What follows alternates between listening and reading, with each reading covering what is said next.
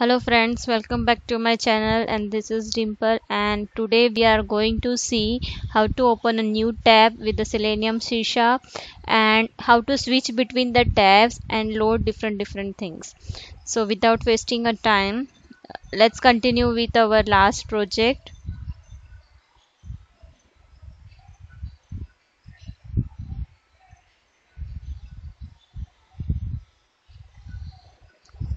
so we'll create a new test method public void and we can say the name is new open tab. And I will just copy these two things.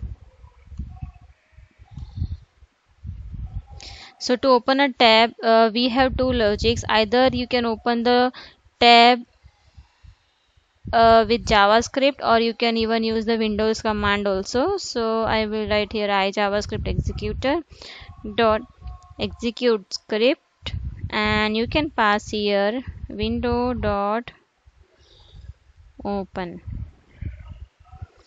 So this is done. Now let's see whether the window is getting open or not.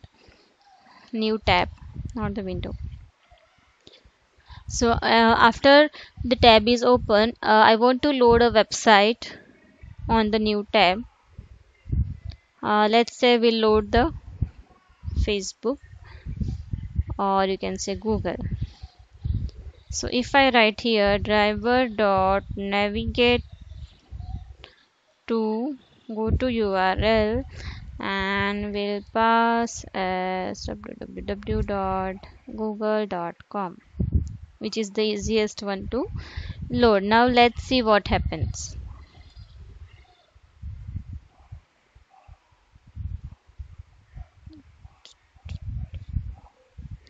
So you can see the google was loaded in the previous tab only. Why?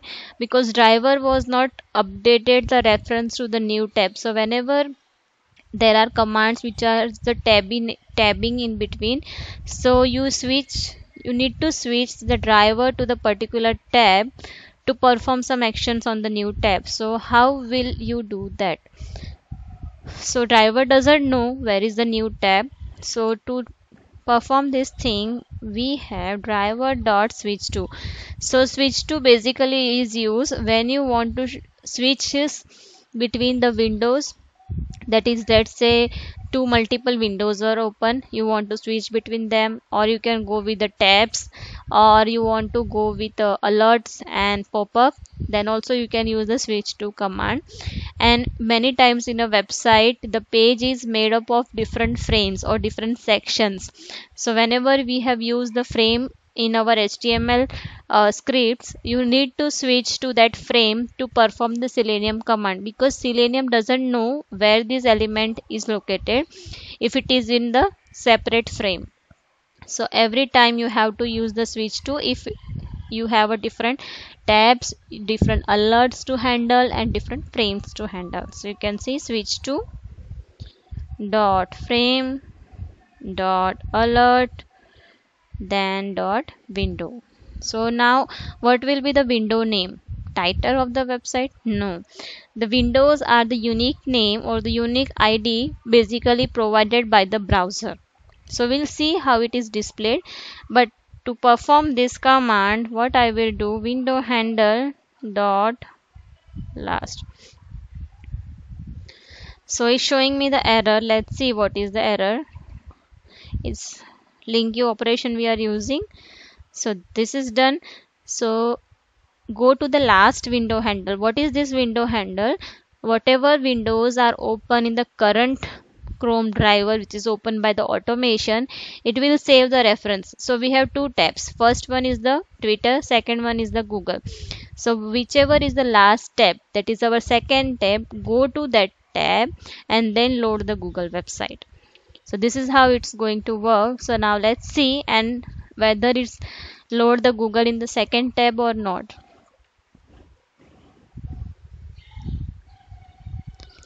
Yay. So we have done that. So twitter is there google is there.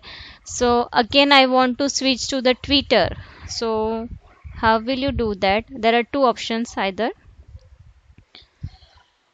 Uh, either you can go with first tab then also it switch to that. Or even you can have the parent frame also. So we'll see that.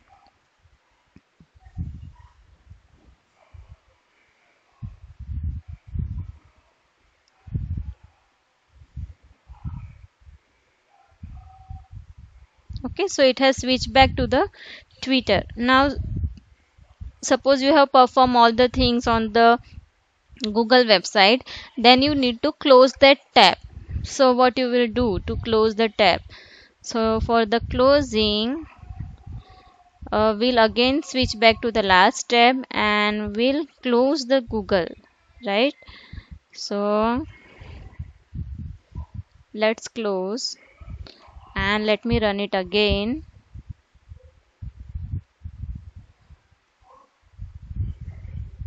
so it will open the twitter then google then again go back to twitter and it has closed the google but not the twitter tab because the close method is closing the current window reference not the entire window. So if i write here quit then you can see it will close the entire browser so if you have performed all the things you have tested all the uh, scenarios in your tabs then you can directly use the quit or you can use close. Okay? So this was the difference between the close and the quit also. So we have seen the first type uh, first way of opening the new tab.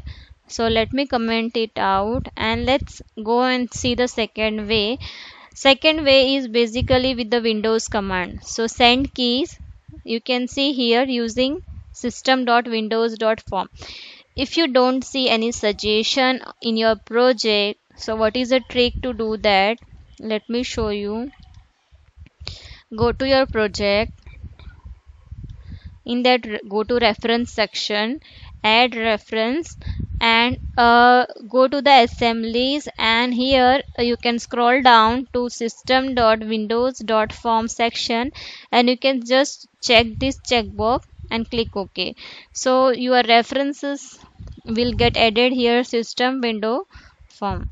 And then you can see the suggestion windows form uh, dot you can say send wait command and to press a control T we'll use this command. So now learn run it and see the same thing happens or not. So this was all the basic uh, tabbing navigation. So it is opening the google then it's again switching back and it's somewhat very fast so you don't see uh, you don't see the switches properly. But to see it properly you can add a thread or you can give a sleep command in between. So that's all for today. Uh, we have seen how to open a tab how to go to the first and the last tab but what if I have the three or four tabs open and I want to switch between all the four tabs one by one perform some testing and go back and close that. So we'll come back with that video in the next series. So till then uh, you can try this command and let me know if you have any queries in the comment section. And if you like the video then please don't forget to hit the red button and please please share with your friends. Till then bye